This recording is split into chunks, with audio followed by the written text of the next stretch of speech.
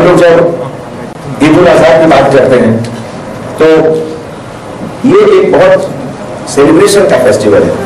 बहुत खुशी का मौका है। लोग नए कपड़े पहनते हैं, नई नई चीज़ बनाते हैं सेक्रीफाइस भी देते हैं। और इसमें सबसे बड़ी चीज़ मुझे मुझे तो क्या लगता है इसमें? अपना सोचने का तरीका। कि सबसे पहले वन थर्ड गरीब को दिया जाता है। उसके बाद वन थर्ड अपने उसके बाद वन थर्ड अपने पड़ोसियों को दिया जाता है। और उसके बाद जो बचा वो अपने लिए। इससे बड़ी चीज़ और क्या है?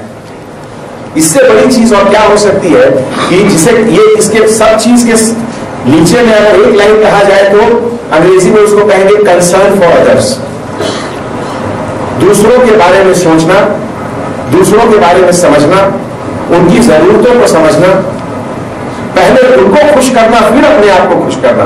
ये सब चीज़ को मिलाकर अगर करिए तो मैं समझता हूँ कि बकरीद फेस्टिवल तो जब ऐसा स्पिरिट ऐसे माहौल में हम लोग जब इस, इतने अच्छे फेस्टिवल को सेलिब्रेट करते हैं तो इससे ज़्यादा खुशी की बात और क्या हो सकती है कि इसका स्पिरिट हर जगह फैले।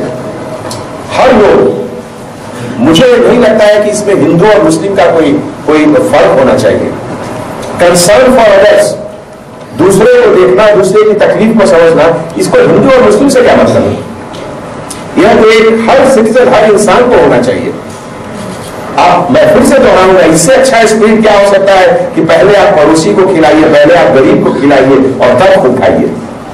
इससे बड़ा मैसेज तो ह्यूमैनिटी में शायद बहुत कम को मिल सकता है। जब इस स्पिरिट से हम लोग आगे बढ़ रहे हैं, जब इस स्पिरिट से हम लोग आगे देख रहे हैं तो हमारी ज़िम्मेदारी बनती है कि ऐसा कुछ काम नहीं करें जिससे उसको तकलीफ़ हो, किसी को भी तकलीफ़ हो। जो भी नियम कानून बनाए जाते हैं देश में, ये सब पहली चीज़ क्या है? देश के आवाम को खुश रखने के लिए बनाई जाती है। चाहे वो कोई भी एक्ट हो prevention of cow slaughter act हो या क्रुएल्टी टू एनिमल एक्ट हो ये सब एक धीरे धीरे सोसाइटी इवॉल्व किया है सैकड़ों साल से और एक कॉन्शियसनेस इवॉल्व होकर हम लोग हर स्टेज पे पहुँचते हैं और कानून के बारे में कहा जाता है कि कानून क्या है? ये कलेक्टिव कॉन्शियसनेस ऑफ़ सोसाइटी है। जब सोसाइटी को महसूस हुआ, जब बहुत सारी गाड़ियाँ रोड पर आने लगी, तब लोगों को लगा कि नहीं, कुछ नियम बनना चाहिए। लेफ़्ट में चलो भाई। अगर लेफ़्ट अगर लेफ़्ट में चलने का नियम नहीं रहे तो क्या हो? जिसको जो मर्ज़ी है, जहाँ चले। कोई राइट चल रहा है, कोई लेफ़्ट चल रहा है, कोई इंटर कोई क्रॉस चल रहा है तो फिर क्या होगा? फिर तालमेल की कमी रहेगी। परेशानी होगी रोड पर है ना? इसीलिए हर हर वक्त कुछ कुछ नियम बनते हैं और नियम का पालन करना, उनको ओबे करना हम लोग सबके लिए बहुत अच्छा है, सबको मिल करके इसमें एक दो चीज़ और मैं क्वेश्चन करना चाहूँगा। को जो जिसे कहते हैं आजकल काउ विजिलेंटिज्म कानून को अपने ऊपर लेना, वो सुप्रीम कोर्ट ने भी हाल में एक जजमेंट दिया है हाल में, कि किसी को यह हक नहीं है कि कानून को अपने हाथ में लेना। तो मैं प्रेस के तरफ़ से, मीडिया की तरफ़ से सबसे अपील करता हूँ कि ऐसे मौके पे आप लोकल पुलिस को बताएँ अननेसेसरी सिचुएशन को डिस्टर्ब करने की कोशिश नहीं करें। बाकी सब जो रूल्स रेगुलेशंस हैं, हमारे डीसीपी साहब ने भी बताया कि हमारे यहाँ पे चीफ वेटनरी ऑफिसर साहब आए हैं, वो आपको डिटेल में बताएँगे कि क्या है रूल्स क्या रेगुलेशंस ट्रांसपोर्टेशन के क्या है। ये सब हर साल होता है, इस बार भी होगा।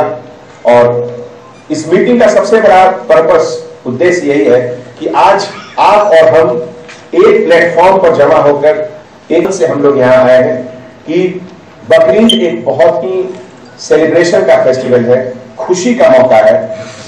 कुछ एक लोग अगर किसी भी इंटेंशन से अगर शरारत करने की कोशिश करेंगे तो हम और आप मिलकर उनको यह शरारत करने की छूट नहीं देंगे। ये बात करेंगे। तो आने के लिए और यहाँ यह मौका देने के लिए आप सबको मैं शुक्रिया अदा करता हूँ। और मैं आपको भरोसा दिलाना चाहता हूँ कि सिटी पुलिस के तरफ़ से हमारे जितने ऑफिसर्स हैं right from each and every home guard से लेके commissioner of police we are at your service 24 hours और जब भी जब भी जब भी किसी चीज़ की ज़रूरत हो, आप कभी भी डायल हंड्रेड करने से नहीं भूलें।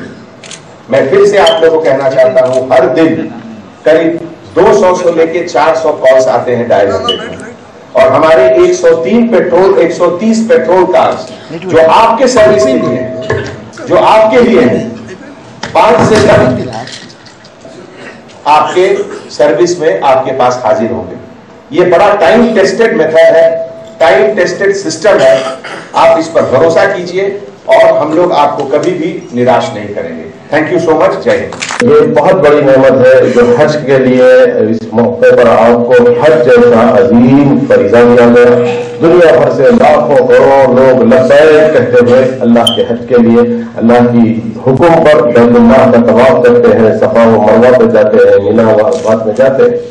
वैसे ही इस, इसी याद में हज़रत इब्राहिम जो एक अजीम कुर्बानी दी उनकी शक्ल में तो अल्लाह का शुक्र है कि आप और हम मनाते हैं कुर्बानी। डीसीपी साहब, जो कुछ बातें हमें कहना चाहिए था, आप जानते हैं, जो कुछ बातें हमें कहना चाहिए था, वो अलहमदुल्ला पुलिस डिपार्टमेंट की जाने से कहा गया। डीसीपी साहब ने वो सारी बातें ऐसा मालूम हो रहा था कि डीसीपी साहब नहीं बन रहे, बल्कि हमें से तो कोई शख्स है जो खड़ा है बोल रहा है वो सारी बातें उन्होंने बयान की दूसरी बात, फिर माशाल्लाह कमिश्नर, बिल्कुल मुख्तसर दो बातें अर्ज़ करूँगा। पहली बात तो यह है कि अल्हम्दुलिल्लाह आप हजरात की तशरीफ़ आवरी यहाँ पर और पुलिस के साथ ये मीटिंग का होना अल्हम्दुलिल्लाह बेहतर बात है।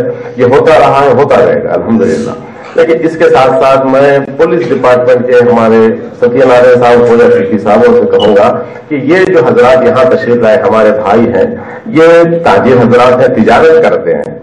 और बड़े जानवर लाते हैं, तजारत करते हैं। ये लोगों के जो मसाइल है, उसके ऊपर अब इसलिए मैं गुफ्तगु नहीं करूँगा क्योंकि सारी बातें तो डीसीपी साहब भी बोल दिए है और सीपी साहब भी नज्म जब को किस तरह से बाकी रखें? और एक दूसरे के साथ तकवा।